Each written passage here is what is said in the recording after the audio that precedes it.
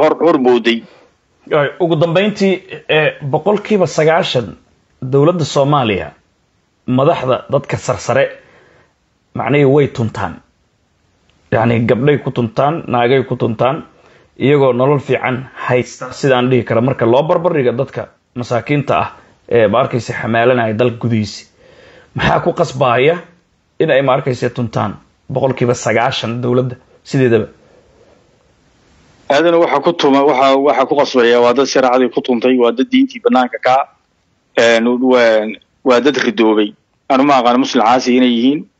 Macnaha anu takfiiri ma yihi oo dee qof yiri ashhadu an laa ilaha illa allah ashhadu anna muxamad rasulullah gaal uguma yeeraya hase yeeshee dhaqanka ku jiraan waa dhaqan gaalnimo. Ah waa dad iimaanka laga qaaday.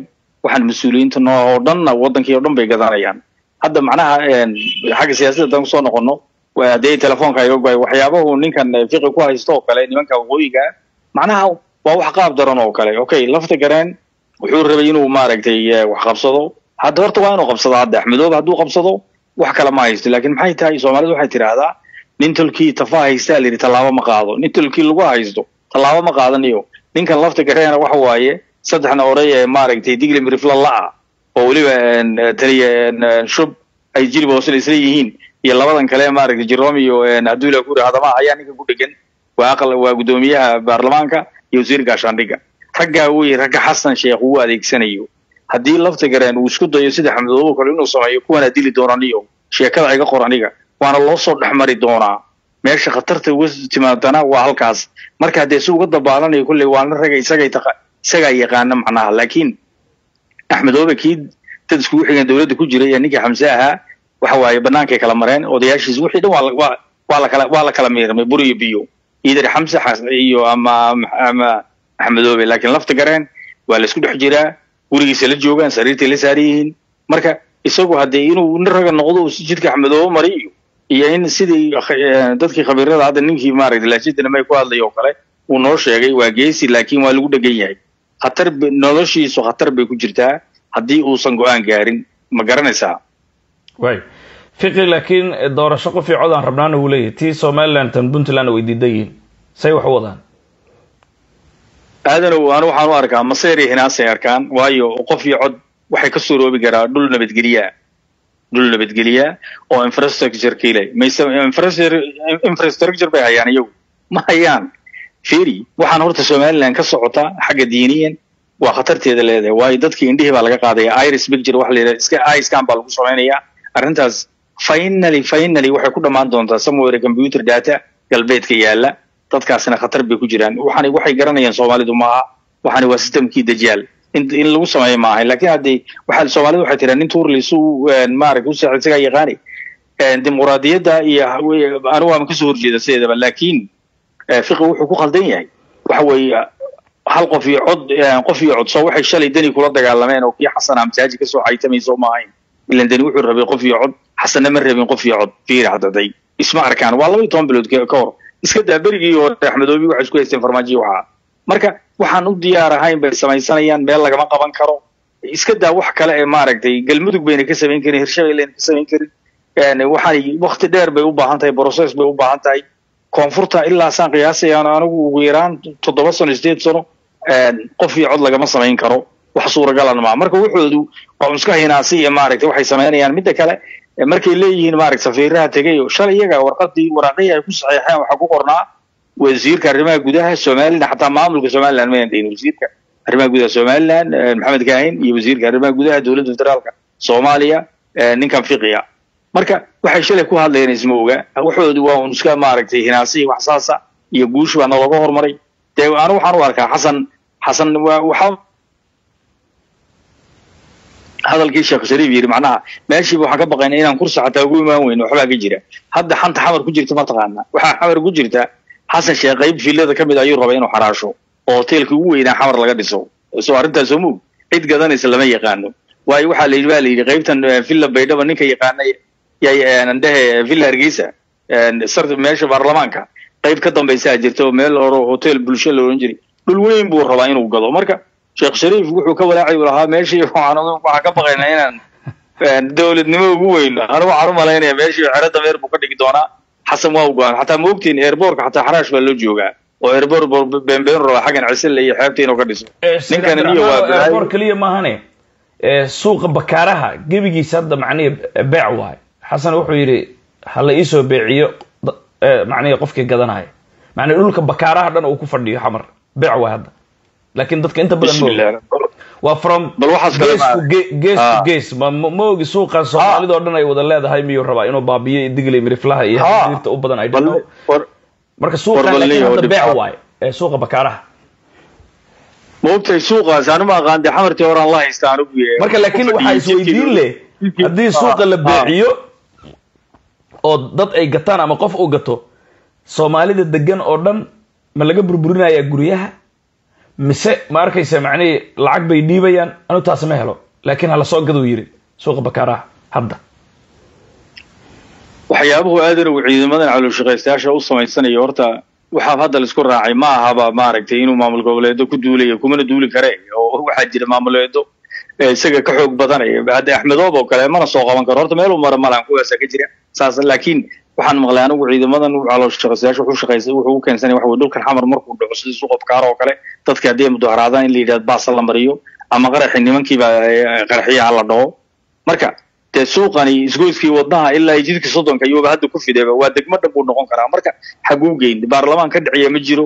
Sheekh shariif baa sheegay ilan waa xubin baarlamaan ka mid eh. Marka kaniniyo anigu wuxuu sameynaya ma aqaan maaragtay waxaana suuragalaba hadda dad badan ay sheegayaan dekeda xamar xataa wuxuu rabaa inuu waxaa weeye suuqa bakaaraha inuu gado haddii qofka uu ka iibsado ama dadka uu ka iibsado ay dhahaan xasanoo noo burburi lacag dheeriya inuu ka qaado uu ku jabinayo isagoo ciidamada ku soo fasaxaya dowladda. Walla aadana arrintaas waa suuragal. Wax walba xasan laga sheega anigu ka shakin maayo. May ka shakin maayo ka shakin maayo. Haddii gadid ay tahay qiimo intaas dhiib haddii in lagu jajabiye ay tahayna intaasaa dhiibaysaa ku daraysaa. Sidaasay hadda taaganta. Bismi illahi raxmaan waraadhe kan waxaan u malayn kanay carruurta iskoollada xamar ciyaalka dugsiyada iskoolada aaday inuu xaraashi doono. Waxaana wax ka weyn.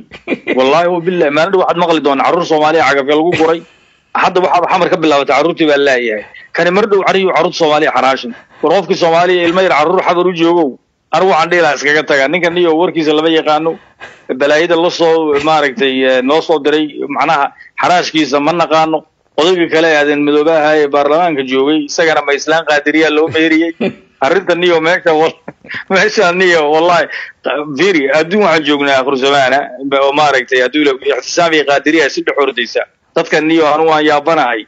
Dadan sarki meeshan mucjisaa ka taaga wallahi ninkan xasana ninkan xasana ariyay soomaali ka dambayn soomaali ka dambayn mayso sheekh shariif baa ka yaabay sheekh shariif cabsi baa ku jirta wallahi wallahi in la khaarijiyo ka baqayaa soo hadda ninku isku haleynaya nabadii nolol ahaa waa kan loo yeedhay inaan macni dowladnimo inaan ku gaari doono in kale shakiyaa ku jiro yiri horta ma sahlana ereygaas ha erigaas ma erigaas ma sahlana waayo xasan lacagahana ururinayo horta waa dictator inuu noqdo yaa og faadaadee intuu maaragtay wax alla wixii mucaarad ah macal faramaaji macal sheekha macal kulli intuu tende iskugu keeno inuu maaragtay diyaarad dharoon oo laga soo duuliyey yeman la dhihi doono xuutiya shub meeshaas iyo soomaaliyana waad ogtahay ma lahan ma ogtahay qubka lidka diyaaradihii raadaar ma lahan. Marka ni safetigoodaba khatar ku jirta. Wallahi wabillahi geeska geeska africa geeska africa lagama hor imaan karo xasan hadda meel ammaanoo xataa lagu shira ma lahan waayo dharoon baa laga soo kicin karaa xudayda iyo meelaha yamanta ma garanaysaa? See u socotay soo gelaysaa. Marka teendadan dambe loo noqon maayo uu leeyahay armuu duqeeya xuutiyiintan heshiisuu kula jiraay walle iyo bille waa suuragal waa suuragal. Fiiri dadkiina wuu haystaa moogta wuxuu dhihi jiray baa laga soo abaabulay saas saas. Dadkiisiibu caadaqatayaashiisiibu kicin wixii wixii. Aan waxaan u malaynayaa ninkani wuxuu rabaa qof dambe oo soomaaliya mucaarada inuusan jirin. armuu taariikhiga marka dadkoo dhan isu yimaadaan doorashadii wareegii koowaad waa la galay. Tirintiyaa socota marka la leeyahay. Dam intuu ka baxo. Dam inta la siiyo. Adduunka telefishinada taariikh aan la araga adduunka dhacday ee doorasha soomaaliya wax nool. Ninka waxaan u malaynayaa iskoorkii wuxuu rabaa qaraxa adduunyada inuu jebiyo. Iskoorkii qaraxa. Waxa weye macnaha shan boqol oo madaxa dowladda. Fiiri hadduu meeshaas qof kasta khaarijiyo soo ma ogid muuse bixi iyo muuse bixi keliya ka badbaadaya soo ma ogid iyo odaga ciro macali axmedoobe iyo deni iyo lafta gareen iyo hebelkaa iyo hebelkaa macal farmaajo kulli waa ku daayeen marka niyow ilaahay sharkiisa naga leexi wax weyn buu ninkani soo wadaa wallahi aad iyo aad buu ubaxsan yahay wallaahi cabsidaasi way haysaa aniga maalin dambe mucaarlama dowladdii soomaaliya breaking news shanta qaaradood. Maxaa dhacay? Tendhakolu dhamaaday xasan besaa ka nool. Maxaa ku dhacay? Lama yaqaan. Xaggee ka imaada diyaaradda lama oga. Cabdisalaan soo dhow adaa ugu dambeeya malaha taymil taageer wixii ku dhacay jabhaddii haye jabhaddi hee ku soco ku soco ku soco howlaan watay ku soco ha macalin macalin waan ku salaamaya marka ugu horeysa muxuu ahaa khiyaarta kale ee ku jirtana dhammaan meelay joogaanba waa salaamaya salaan kadib horta arrinta anigu aad iyo aad muhiimka u oo caawa laga hadlayey oo aniga aad iyo aad iisoo jeeta wey waxa weeye xagga diinta anigu wadaad maahi laakiin muxuu ahaa laakiin qof muslina waana qof weyna waanahay maxay ahay toy laakiin waa wax u baahan waddankeenna soomaaliya dhibaatada ugu weyn anigu aan ka naxo waxa weeye. Dee qof intaas leeg baan ahay oo intaasna diin ku soo dhex jiray oo ehlu salaad oo ehlu oo diin ku dhasho xaqa iyo baadilka kala garanaya. Marka soomaaliya dhibaatada ugu weyn oo haysata waxa weeye xaqii iyo baadilkii baa la isku daraya. War xaq baadilna meel ma wada galaan. Wala xalaalu bayn wala xaaraanu bayn. Xalaashu waa cadda xaaraantuna waa cadda. Dhibaatada ugu weyn oo soomaaliya wax lagu xukumo waxaa lagu leeyahay hadda matalahaan anugu hadda xasan keliya saari maayo. Xataa maamul goboleedyada meel kastoo la joogo. Waxaa lagu leeyahay muxuu aha qof baa la xukumayaa oo maxaa lagu xukumayaa muxuu ahaa matalahaan oo kale dembi uu mutaysanaya dil ayaa lagu soo eedaynaya markaasaa waxaa la leeyahay qofkii waxaa la rabaa dil in lagu xukumo marka waxaa la leeyahay muxuu ahaa qodobka intaas mar la akriyo firqadiisa intaas marka la akriyo bogiisa afraad la akriyo waxaa lagu xukumay dil markii loo fiiriyo haddana baa lagu leeyahay qur'aankii baa la liidayaa suuratulmaa'ida baa la leeyahay markaas gadaal baa laga raacinaya laakiin qofkii daisra daas waaba xukuman yahayba oo waxaa lagu xukumay qodobo articla baa qofkii lagu xukumay. Marka qofkii articlekii markii lagu xukumo baa markaa oo qodobadii la soo qaato bogogii la akriyo oo wixii walba baa la leeyahay muxuu ahaa baa la soo qaadaya markii hadda loo fiiriyo baa la leeyahay hadda lama oranayo loo fiiriyo. Suuratulmaa'ida waxaa lasku raa waxaa lagu xukumay. Dil marka wasaaradda hadda cuqaaftay shariifku waagu madaxweyne ahaa wuxuu keenay baarlamaanka uu hor keenay muxuu ahaa in shareecada islaamka la qaato baarlamaanku kulligood gacantay wada taageen waxaa laisla qaatay muxuu ahaa oo baarlamaankuna ansixiyeen muxuu ahaa in waddanka soomaaliya shareecada islaamka la qaato shareecada islaamka lagu xukumo. Waa la saxiixay meeshii baa looga tegay marka shabaab wuxuu yidhi diin baan u dagaalamayaa. Diin baan u dagaalamayaa duurku galay madaxweyne ku-xigeen buu ku ahaa nimanka maxay haytay al-shabaabka. Muxuu ahaa wasaaraddii dhammayda arrimaha diinta iyo cuqaafta loo dhiibay isagii oo meeshii fadhiyabaa baadilkii wax lagu xukumaya. Diin baana muxuu ahaa shalayna diin baan u dagaalamayaa buu lahaa. Haddana muxuu ahaa wasaaraddii asaga hayta kama hadlay wax lagu xukumayo aawel diinta uu sheeganayo dadka ku laayo kuwaanka kun isku laayay kuwa isagoo hogaaminayo iyo kuwa ka soo horjeedaba isagoola diin baan u dagaalamaya maantana wuxuu daawanayaa baadilkii dhex fadhiyaa asagii oo weliba ku magacaaban muxuu ahaa wasaaradda diinta iyo cuqaafta marka meesha soomaaliya dhibaatada taallaa waxay tahay diinta dhaqan ahaan u haysanaa kuma dhaqano muslim baan sheeganaynaa hadda waddanka soomaaliya wuu ku badbaadi lahaa. Hadda dadkiis haystay oo muxuu ahaa gabadhii hadda matalahaan oo kale luul cabdicasiis haddii la odhan lahaa aan muxuu ahaa article iyo waxyaabahan ay wadaan maxkamadood iyo saddex maxkamadood waxay ahayd kitaabkan loo rogi lahaa xaqa iyo baadilkana halkaasaa kala saari lahaa. Iyadoon sagaal maxkamadood marin maxkamadda ugu horreysaa kala saari lahaa. Marka anigu waxaan odhan lahaa xaqa iyo baadilka hala saara ama dadkanu baadilka qaatoo diinta ha wasakaynin oo diinta hala soo aadinina muxuu ahaa hala soo aadinina muxuu ahaa diinta aad ku ku fontrionesaan iska dhaafo baadilkiina iska wata iyo iyo waxaana qorteen ama kitaabkii hala qaato laakiin labadoodii in la isku dhex qaso waxaan aaminsanahay gaalada annagaa ka liidana sababtoo gaaladu baadilkoodaasay wax ku xukumaan. Laakiin annaga baadilkii iyo xaqii baa isku dhex jira. Marka arrintaas horta muxuu ahaa waa arrin u baahan in laga doodo. Waa arrin loo baahanya kuwa hataa baarlamaanka sheeganaya. Hadda kuwa baarlamaanka waa run dad aqoon le maaha. Baarlamaanka labada qof oo ugu sarreeya aadan madoobe iyo gabadha ku xigo midna weligiis intuu buuqaatay iskool ma aadin. Muxuu ahaa diin muslimna wax kama yaqaanaan article wax kama yaqaanaan. Kuwa ka hooseeya wax aqoon le iyo waxaan aqoon lahayn waxaa badan kuwan aqoonta lahayn baa badan. Marka baarlamaan isagu wax ku qabsan kara oo qodobo soo diyaarin kara oo muxuu ahaa shareeco ka doodi kara ma laha. Xataa maadiga kuwa ka doodi kara ma laha. Baarlamaanku isagu waa seero meeluu ka yimi soomaaliya odayaal dhaqan baa soo xulay. Odayaasha dhaqana nin walbaba keebaa xoogaa shilima kuu soo sawir kara keebaa reer kuu xiga. Min jeclaysi baa lagu keenay. Laguma keenin muxuu aha qualitigooda iyo aqoontooda iyo kartidooda laguma keenin. Waxaa lagu keenay odaygu odayga dhaqanka kii u dhawaabuu soo xortay. Kuwa waxay jira muxuu ahaa khad loo saaro farta oo farta meel wax saara muxuu ahaa hadday yidhahdaan waxbaan su'aal haddaan ku weydiiyo marka sheekh mukhtaar robow diinta hadduu shalay u dagaalamayay mar hadduu wasiirka diinta iyo macnaha islaamka hadda uu yahay ama awqaafta islaamka yahay dowladda waxay hadlayso macnaha isaga dhib maa ka soo gaaraya dembi miyaa ka soo gaaraya isagu sow wasaaraddii diinta wasiirka maahan ka soo gaarayaan muqtaare soobow ninka soomaaliya ugu dambi badan buu ka mid yahay. Shariifkaa xataa hadlaya shariifka shariifka hadda ma hadlaya shariifka ma hadlaya shariif ma hadlaya ninka la yidhahdo madaxweynihii hore soomaaliya. Shariif ma hadda ma hadlaya. Ha. Halo? Waa ku maqlaya internetka yar u dhow. Netka u dhow kaa go'aya ha ha ha maalin shariifka shariifka sheekh shariif soo madaxweynihii hore soomaaliya soo maahan ha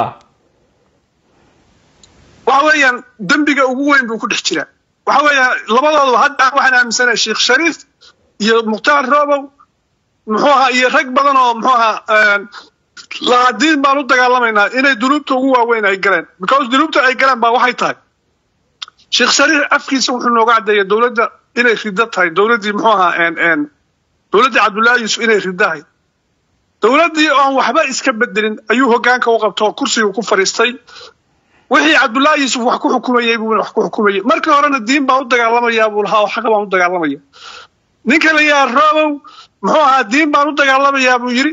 Qoladuu muftaska ku sheegaya oo riddo lahaa kursigii buu ku fadhiistay muxuu ahaa wixii ay wax ku maamulayeen buuna dhex fadhiyaa oo wax ku maamulaya. Oo maanta ilaahay ka sokow isagaa wasaaradda u sarreeya diinta cuqaafta waxaa la rabay xaqa iyo baadilka halkaa in lagu kala reebaa la rabay. Waxa xaqa iyo baadil lagu kala reeba maaha ha socoto wey oo wixii horey meesha uga jiray. Marka nimankaas laba wajiilaha oo marna dadka diinta ku laayay marna nimankay lahaayeen baadil bay wax ku xukumayaan waa riddo. Boosashinkii fadhiistoo kula dhuuqay. Anigu waxaan qabaa dadka inay ugu dambi wen yihiin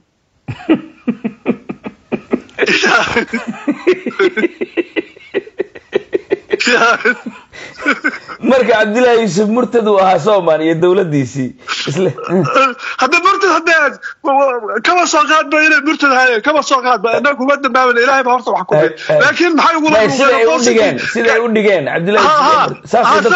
say u dhigeen iyagu say u dhigeen. Ha ayaday soo qaabteen inay murtad tahay. Ayaday soo qaabteen ma garatay maxaa dhacay marka? Waxaa dhacay inay kula dhuuqaan oo bartii fadhiistaan iyagana meesha ka bisaan oo weliba mid walba muxuu ahaa alxamdulilahi leeyahay ilaahay baa meesha keenay waaya maxay ku laayeen marka dadka iyo askarta iyo askartooda waaba ta laysku haysto waaba laysku haysto. Tay hogaaminayeen iyo tay laayeen maxay ku dhimatay marka? Waa arrinta isweydiinta mudan. Kuwa iyagu hogaaminayeen iyo kuwii kor iyaga isku laayeen bal maxay ku laayeen baa meesha taalla ma diintaa isbedeshay? Mise dowladdii ayay diinta ku xukumeen? Haa gaalada sanad walba gaalada maaragtay sanad walba waxay sameeyaan kitaabka bibaleka ah muxuu ahaa nimankan waa kitaabi ba- eh, gaalada. Marka sanad walba konton erey bay ka bedelaan waxay yidhahdaan muxuu ahaa dadka waa ku culus tahay oo muxuu ahaa kuwa ka khafiifsan. Macnaha dadka way ku adag tahay marka maadaama ay dimuqraadi sheegtaan dadkay ku adag tahay ila diinta diintu waay maya laakiin qodobo- cabdullaahi yuusuf haddii macnihii ciidanka iyo inta la socota murtad lagu xukumayay hadday dowladdii timaaday ay iyagu la wareegeen kitaabkii may ku xukumeen mise isla cabdullaahi wuxuu ku xukumayay ku xukumaan. Xabad laga lagama bedelin meeshii bay ka miiseen. Shariifku fiiri macallinow maxay ahayd toy adiga hadda adaa hogaaminaya muxuu ahaa meesha adiga hogaaminaysa kursiga haddaa ka kacdo aan meeshii ka sii wado dadkii waraysigii wixii ka sii wado wax miyaa isbedelay ilan sheekadii meeshii baan ka sii wada sooma cabdullaahi gaarigii buu ka degay uu waday. Gaarigii shariifkii wax ku fadhiistay bartii buu ka sii waday. Waaye soo lagama yaabo marka askartii markaasi qaarkood eh, macnihii ay gacmaha ka gooyeen ama ay dhaawaceen oo dowladdii cabdillahi qaarkood inay nool yihiin oo hadda isla dowladda ay ku wada jiraan. Soo lagama yaabo. Necessary waaye nimankii ay shalay muftarka ahaayeen oo iyagu gacmaha ka jareen oo oo cabdullaahi hogaaminayey iyo kuwii iyagoo ay lugaha iyo gacmaha ka jareen oo iyagoo hogaaminaya oo dagaalgelinaya lahayn jannaa gelaysa labadiiba ay muxuu aha wixii ay baadilka ku sheegayeen bay ku maamulayaan ay ku hoos fadhiyaan. Marka nimanka iyaa ka dembi badan marka nimanka noocaa sameeyey. Cid ka dembi badan inay aaminsanta inay jirtaan ma aaminsan waayo. Laakiin hadda marka haddii xalka la rabo xaaladda ay qasan tahay maxaa la samayn karaa wallaahi horta diinta islaamka in boorka laga jafo wax ka wanaagsan male xaqa haddaynu raacno waa guulaysanaynaa laakiin xaqa iyo baadilka anigu waxaan taaganahay war xaqa iyo baadilka hala kala saaro. Xaq iyo baadil meel ma wada galaan. Laakiin waaba aayad qur'aanba. Walaa talbisuu xaqan bilbaadili xaqa baadilka ku qasin. Waaba ha wa ka haade waa runtii haade saasaan buu leeyahay ilaahay xaggiis ka yimaade. Ha isku qasina. Ha ha waa ha ka yimi ha ha. Taasaanuu taaganahay. Waxaan taaganahay intii dadka muxuu ahaa la isku laayo oo wilal ba- naago badan muxuu ahaa nimankii laga laayo asay loo saaro oo gabdho badan iyo wilal badan la agoontoodo oo muxuu ahaa waay Hadda- aan ku naagahan ku xasuustay dumarka dhe madoobe nunow ah, maxamed sorry. allah u naxariistay madaxweynihii lixda gobol. Ayaa xaaskiisi diinsoor iyo aagaas ma ogi ayaa isagoo qaba Ah. murtad kuguma xirmaa la yidhi. Markaasi wasiirka dastuurku ahaa dowladda ku-meel gaarka ah.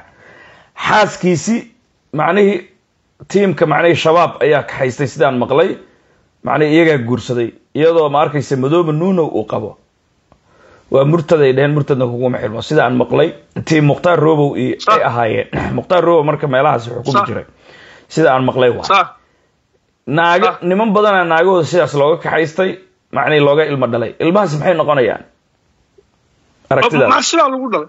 Ma- macsi baa lagu dhalay sababta macsi waxaa loogu dhalay. Gabadhan shareecada islaamka lagu mariyey marka muxuu ahaa eh, g- naago ga- gaala oo la soo muxuu ahaa la qabsaday oo laga soo qanimaystay maaha. Ma- ereygaas oo kale waa muftad waxaa loo isticmaalaa. Dadka muxuu ahaa xilliga dee kolley asxaabtii iyo nimaga rag culumaa aniga diinta iga badiya waa joogaan mana raba anigu inaan dembi galo waxaana diinta u sii dhex gelin anigu inaan wax saxaan rabaa oo baadilka iyo xaqa la kala saaro laakiin inaan dembi jiibsado ma rabo. Sababtoo macnaha aayaadka qur'aanka haddaad si aysan ahayn aad u fasirto ilaahay aayaadkiisi qof beeni- beeniyey kama duwanid oo ilaahay muxuu ahaa ummadii been iyo muxuu ahaa ka dhaadhacshay ba- baad noqonaysaa oo baadil ba- ba- ba- baadil weeye waxaa sheegto. Marka maxay ahayd toy qaniime waxaa noqonayaa ama wax la qabsad markii la xoraysto dadka gaalada waa la guursan karaa naagaha la qabsado waa la guursan karaa. Laakiin qof muslina qof muslina xaaskiisii diin kuu banaynaysa male inaad tiraahdo oo muxuu ahaa oo nin kale aad ku darto meerna uma qabto. Marka waa baadilnimo ilmahaasna ninkii hore baa le ninkii Ah. hore baa le Il- ilmi- ilma- ilmihii ay dhalaan. ilmahaasi macnihii sina ma ahan. Yacni ilmo ma ma noqonayaan sidaan culimada ka dhagaystay naagta inta aan la guursan. Haddii nin uu u tago sidaas ilma ay ku dhasho waa wecel laakiin ma arkayse naag la qabo haddii ma arkayse la kufsado ama naag la qabo haddii ma arkayse macnihii eh, macnihii nin uu u tago. Gar iyo gardaraba cunugaasi wecel ma noqday culimadu dhahdaa laakiin su'aal haddaan ku weydiiyo hadda sheekh mukhtaar mar dhexdaasa wuxuu yidhi ninka la yidhaahdo xasan sheekh maxamuud waa madaxweyne diini ah. Amiirulmu'miniin buu u dhigmaa camal. Marka macnihii xasan sheekh maxamuud ma yahay amiirulmu'miniin hadda. Aragtidaada. Anugu anu- anugu anoo aan dambaabayn oo weliba aan is leeyahay ilaahay baa ugu dhowaanaysaa Mm. Xa- xa- xasan muslimna maaha gaalla maaha diin u haysta lama yaqaan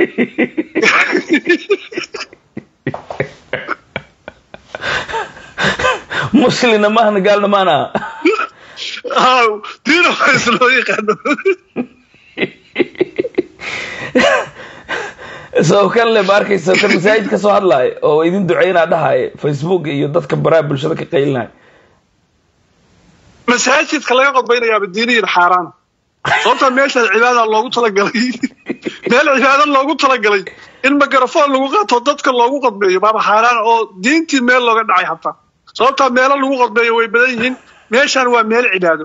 Ma ahan meel wuxuu sheegayna waa been xaggee lagu arkay meel masaajid oo baadil laga hadlayo oo muxuu ahaa waa meeshii la rabay keliya xaqa keliya in looga hadlo xaqa keliya in looga hadla wixii xaqa in laga hadlaa rabay. Marka waxaa leedahay madaxweynaha markuu leeyahay puntland afar iyo labaatan cashay ku burburaysaa hanjabaad waay masaajidka waa baadil ha ha waa baadil waa baadil. Wax laga hadlayo waa baadil iyo been iyo ummad la isku dirayo. Marka masaajid laguma dambaabayo xaqaa looga hadlaa. Marka masaajid lagu dambaabayo masaajid ma noqon karo. Wuxuu noqonayaa meeshaanu waa iska bayt bunaa su'aalaan ku weydiiya marka madaxweynaha siduu jarmalka uga laabtay. Soomaalida hala iisoo celiyo uu yidhi oo cadaanka macnihii uu af ingiriisi kula hadlay. Kadib maxaa hadalkiisi loo waayay? Inkastoo la celcelinayay uu dhahay waa hadla waa hadla war dhiiqaad gelaysaa joogla maxaa u hadli waayay madaxweynaha? Shib maxaa ka sii horta ma cad- ma cadayn karo laakiin inuu aamusaa fiican. Sababta wax wanaagsan inaysan ka imaanayn baan ogahay marka inuu aamusan aamusku ku fiican yahay. Ha iska aamus. Anu taas aaminsana aad iyo aad buu mahadsan yahay.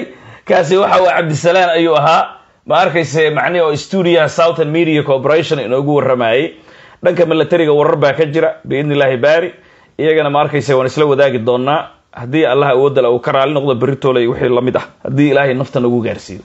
Barnaamijkeeni saacadaha badan ee dheeraa oo qof walba uu ku nafisay ee ra'yada kala duwan soomaalida ay ka dhiibteen ee ma arkayse macnihi platformkan ama macnihi fagaarahan dhagaystayaasha iyo daawadayaasha qiimaha iyo qaayaal haw halkaasi ayaanu ku soo gabagabaynaynaa ma arkayse macnihii qofka shacabka annaga macnihii wax naga tirsanaayo cafis baan weydiisanaynaa ma arkayse macnihii qofka annaga waxay noo geystay oo shacabana waan cafinay adduunku waa maalmo laakiin siyaasad ayaan anagu siyaasiyiintan isku dhegannahay guulaysta oo liibaana wanaaggan ha laga shaqeeyo. Ma arkayse soomaalidan ha la isu keeno islaamnimadan ha la ilaaliyo. Dardaarankeena waxaa weeye camalkana ilaahay dartiisa u qabo.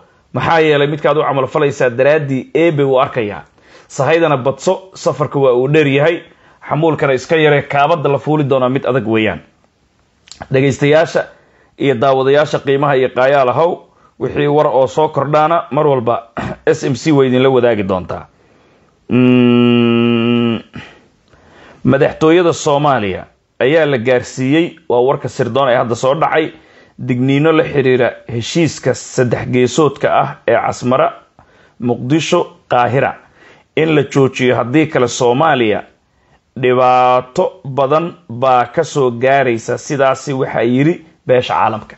Warkan s m c u hadda ku soo dhacay ee ogaada. Waa deg deg heshiiska saddex geesoodka haddaan la joojin geeska africa oo dhan baa huraysa ama huraaya soomaaliyana dhib badan baa ka soo gaaraya. Jooji baa lagu yidhi xasan sheekh maxamuud. Warka uu macad yahay mise ma cadda? Waa loo